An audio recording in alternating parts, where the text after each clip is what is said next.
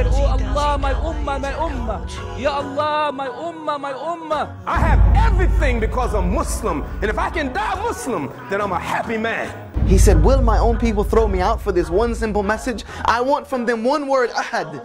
And when our beloved Prophet sallallahu alaihi wasallam, he was asked, who do you love most? He was not embarrassed. She said that his character was the Quran. In other narrations, كان قرآنا يمشي. If you are a true follower of Muhammad sallallahu alayhi wasallam, then you have to follow the path and the way of the Prophet.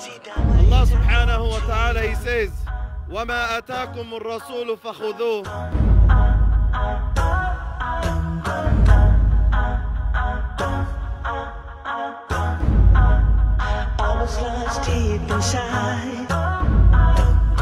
They wanna know about Islam, we'll give them dawah. A Muslim does, we'll give them dawah. When they wanna hate on our deen, we'll give them dawah. Who's the one and only? Nobody but Allah.